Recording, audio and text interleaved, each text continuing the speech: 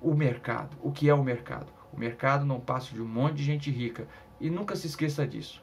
Bom, e esse monte de gente rica tem um monte de interesses. Nem sempre os mesmos interesses, tá? Claro que dentro do mercado existem várias opiniões, várias visões, vários interesses, não é uma unicamente pensante, muito longe disso. Contudo, o UOL resolveu entrevistar alguns economistas e disse que esses economistas são o mercado. Na verdade, eles apenas representam os interesses, interesses de alguns empresários, de alguns ricos. Bom, e o que que esses empresários, o que que esses ricos querem que os economistas digam? Bom, eles querem que diga que o PT que governou para o povo, para o povo como um todo, rico, pobre, classe média, fez coisas erradas. O interesse dessa gente entrevistada pelo UOL, e eu vou deixar o link para vocês conferirem, é simplesmente fazer com que o próximo governo, de novo, governe para os ricos, governe para os poderosos, ignorando o povo pobre. Eles chegam ao ponto de mentir, dizendo que no Japão e na Europa se livraram das estatais. Isso é mentira. Uma grandíssima mentira. Além do mais, já que vamos falar sobre estatais, vamos falar da China. China tem um monte de estatal e a economia vai muito bem.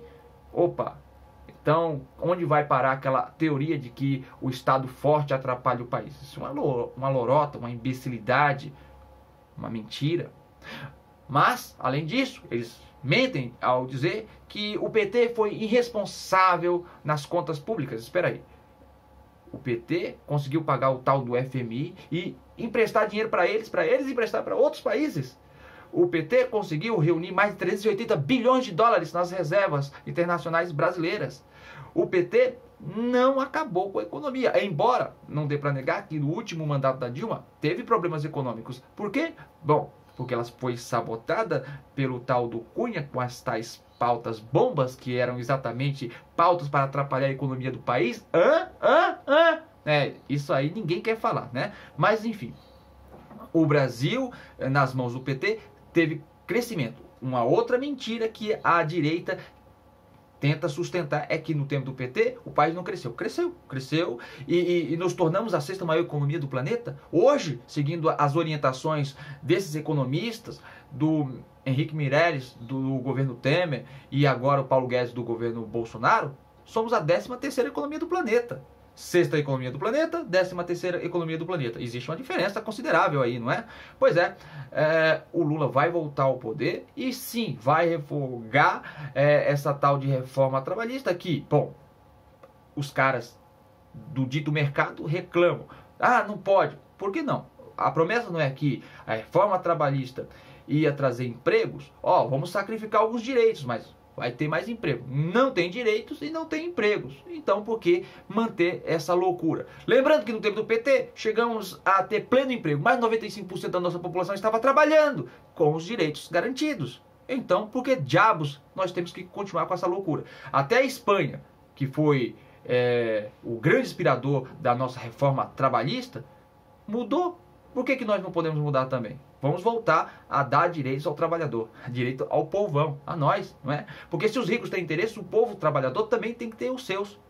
Bom, lembrando também que o mercado, né, o chamado mercado, esse grupo de gente rica e poderosa, luta pelos seus interesses. Eles sempre vão querer, claro, políticos que representem os seus anseios, os seus desejos. E o povo também, o povo pobre, né, a classe média, precisa também ter seus próprios interesses. E os interesses do povo pobre não são necessariamente os interesses dos ricos. E o povo pobre também pode encaixar aí né, a tal da classe média. A classe média que está mais para o lado pobre do que para o lado rico. Embora no Brasil a classe média acredite que é rica, né? Como todo mundo sabe, qualquer um aqui que tenha uma propriedadezinha a mais já se acha o bambambam. Bam, bam. Não é isso, né, gente? O, no governo do PT, todos foram beneficiados, o rico, pobre e a classe média, e precisamos de um governo desse, desse pensamento, né? que não governe apenas para um lado, só para o rico, ou só para o pobre, ou só para a classe média. Tem que ser um governo que governe para todos, porque uma sociedade só caminha quando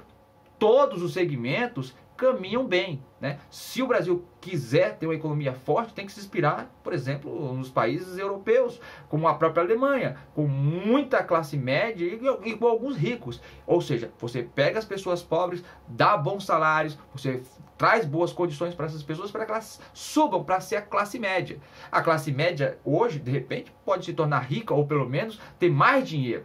E assim o consumo aumenta. Se o consumo aumentar, bom, o país volta a crescer de forma consistente. Agora, é um absurdo que economistas né, se vendam por tão pouco ou que sejam tão ignorantes ao ponto de ignorar a importância do Estado para recuperar um país arrebentado como o Brasil. Se não for o Estado, a gente vai esperar o quê? Se, se o governo não se meter na economia, a gente vai esperar o quê? A intervenção do mercado é a mesma coisa de ficar rezando, esperando uma providência divina para recuperar nossa economia. Não dá para esperar. O povo tem fome, são milhões de pessoas passando fome, são milhões de pessoas desempregadas. O Estado, o país, o governo tem que trabalhar para recuperar a economia. Senão não adianta nem não adianta nem, né, é, é, é, e nem precisa de governo. Deixa na mão do acaso, deixa ou no caso na mão do mercado. Não é isso que precisamos, né? Precisamos é de um governo atuante que realmente tenha a intenção e a sabedoria de como conduzir bem a economia. Se não for para isso, nem precisa de governo, certo?